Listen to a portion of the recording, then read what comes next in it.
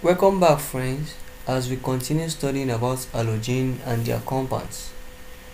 In the previous lecture we studied about fluorine but in this lecture we'll be studying about chlorine. In the last lecture we learned that the halogens are the group 7 elements and the elements are fluorine, chlorine, bromine, iodine and astatine but today we'll be looking at chlorine. Chlorine is the most important element of all the halogens. Also chlorine is the second element after fluorine.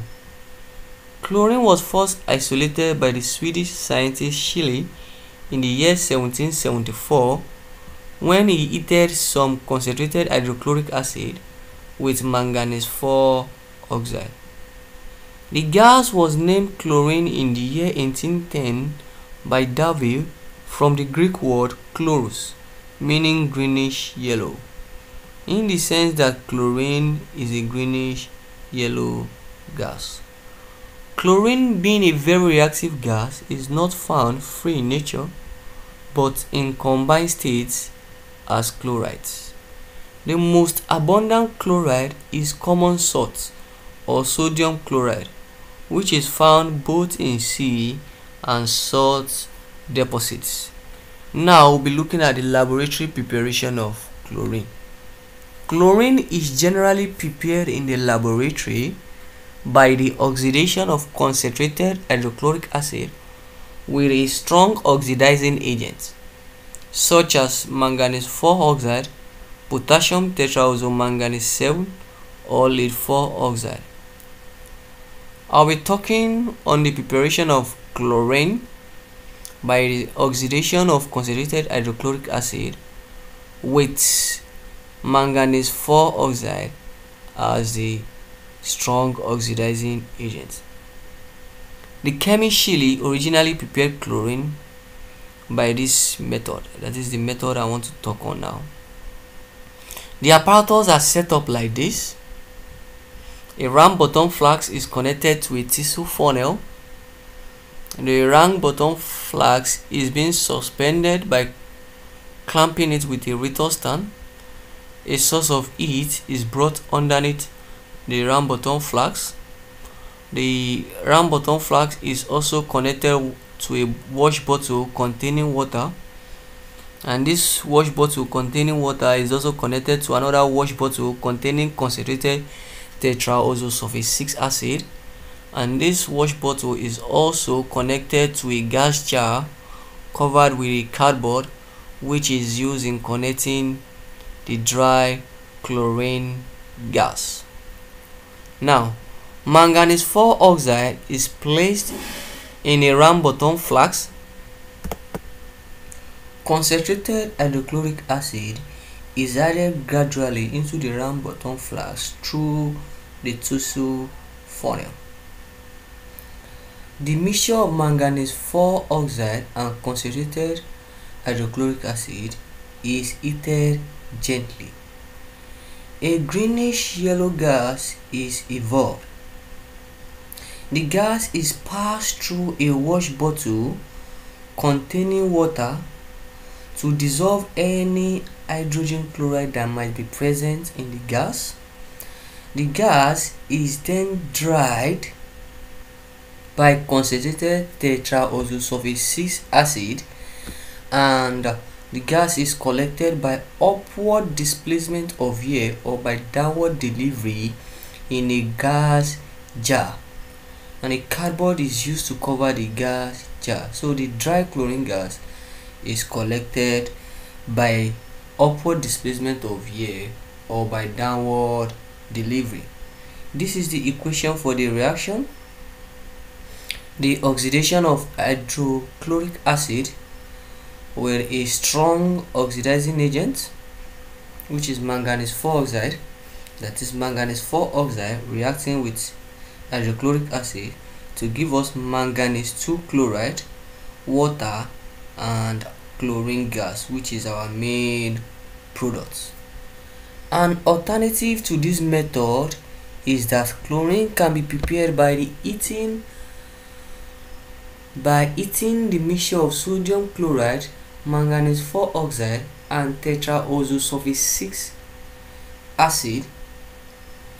Now the acid first of all reacts with sodium chloride to give hydrogen chloride which is then oxidized by manganese 4 oxide to liberate our main product which is chlorine gas.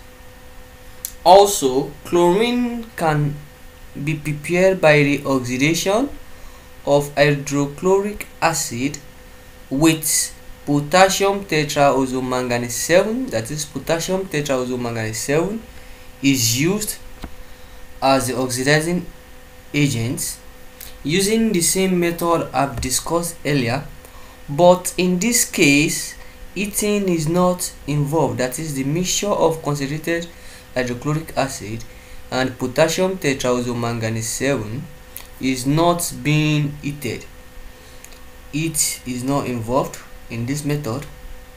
Likewise uh, the gas is evolved and is passed over water to remove any trace or any hydrogen chloride present then it's been dried over concentrated tetraoxosulfuric acid and is also collected collected by upward displacement of air or by downward delivery in a gas jar.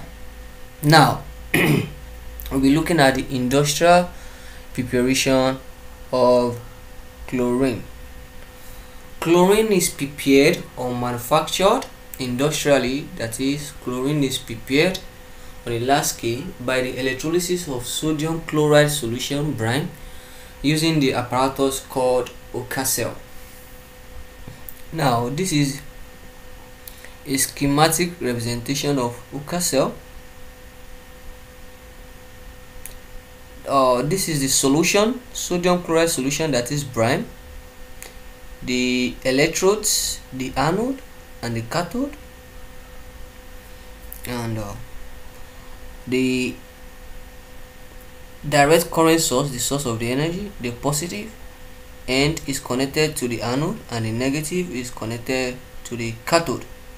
Now what happens here is that when a direct current is passed into the sodium chloride solution the chlorine gas is collected at the anode and the hydrogen gas is collected at the cathode.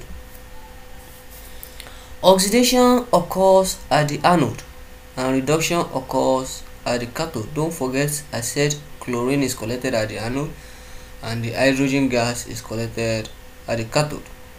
This is the reaction that occurs at the anode two chloride ion to give us chlorine gas reacting with two electrons. Here we have two moles of water reacting with two electrons to give us hydroxyl ion and the hydrogen gas. The this is the overall reaction sodium chloride reacting with water to give us hydrogen gas and chlorine gas with sodium hydroxide. Now the chlorine gas that is being collected is then liquefied and stored under pressure in the steel cylinder. Very briefly, we will talk on the physical properties of chlorine. Chlorine is a greenish yellow gas with a choking, irritating and unpleasant smell. Another property, another physical property of chlorine is that chlorine is denser than air. That is, it has a higher density than air. Also, it is moderately soluble in water. And like I've said under the under the industrial preparation of chlorine, it can chlorine can be easily liquefied under pressure and stored in steel or iron cylinders. Also, chlorine gas is a very poisonous gas in fact, if inhaled to a small to a very small extent, it can damage the mucous lining of the lungs. Many thanks for watching this video. See you on the next one and don't forget to subscribe.